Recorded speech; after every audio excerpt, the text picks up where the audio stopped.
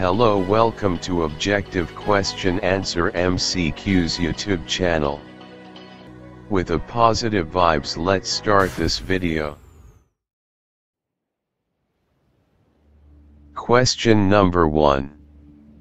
Which of the following can be beaten into thin sheets?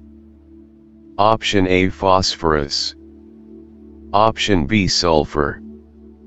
Option C zinc. Option D oxygen. The right answer is option C.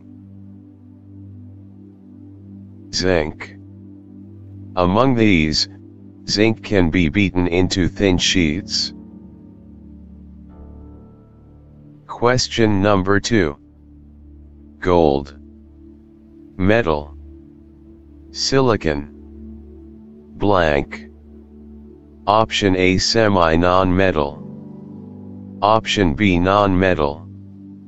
Option C metal. Option D metalloid. The right answer is option D. Metalloid. Gold is metal and silicon is a metalloid. Question number 3. Which of the following statements is correct? Option A. All metals are ductile. Option B. All nonmetals are ductile. Option C. Some nonmetals are ductile. Option D. Generally, metals are ductile. The right answer is option D. Generally, metals are ductile.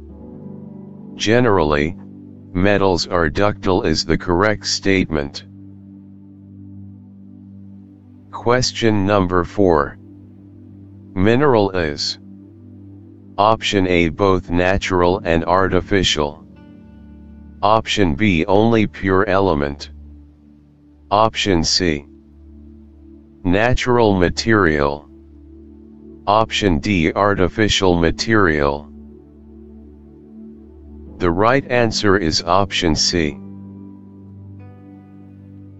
Natural material. Mineral is a naturally occurring material obtained from earth crust. Question number 5. Which of the following metals can be used for making wires? Option A iron. Option B copper. Option C gold. Option D. All of the above. The right answer is option D. All of the above. All of the above metals can be used for making wires. Question number 6. Non-metal that conducts electricity is Option A iodine Option B coal Option C graphite Option D diamond. The right answer is option C. Graphite. Non-metal that conducts electricity is graphite Question number 7. Which of the following metals does not react even concentrated hydrochloric acid? Option A zinc. Option B iron. Option C copper. Option D sodium. The right answer is option C. Copper. Among following metals, copper does not react even concentrated hydrochloric acid. Question number 8. Metals are Option A electronegative Option B electropositive Option C neutral Option D none of the above the right answer is option B. Electropositive. Metals are electropositive. Question number 9. Which of the following metals reacts vigorously with water? Option A zinc. Option B copper. Option C sodium. Option D iron. The right answer is option C. Sodium. Among following metals, sodium reacts vigorously with water. Question number 10. Rust formation is called Option A Illusion Option B corrosion Option C aberration Option D deformation The right answer is option B Corrosion Rust formation is called corrosion Question number 11. Which metal is generally used for making a sewing needle? Option A copper. Option B iron. Option C gold. Option D silver. The right answer is option B. Iron. Among these metal, Iron is generally used for making a sewing needle. Question number 12.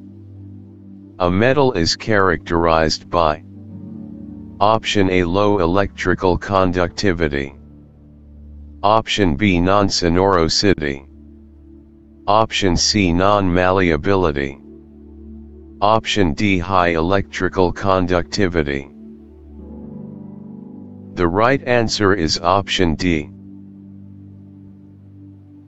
High electrical conductivity. A metal is characterized by high electrical conductivity. Question number 13. Which metal is used for making the filament of a bulb? Option A copper.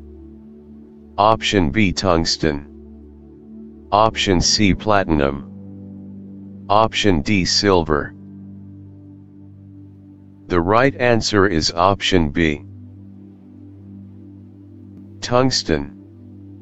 Among these metal, tungsten is used for making the filament of a bulb. Question number 14. Non-metals occur as Option A solid Option B gas. Option C liquid. Option D all of these.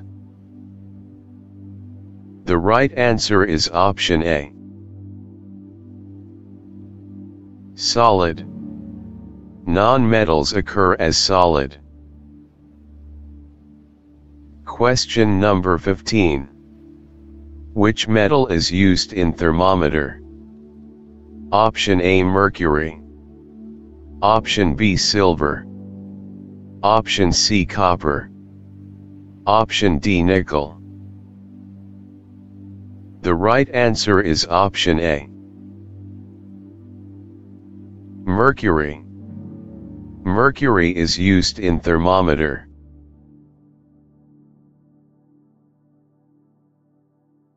Thank you so much for watching our videos. Please subscribe to our YouTube channel Objective Question Answer MCQs.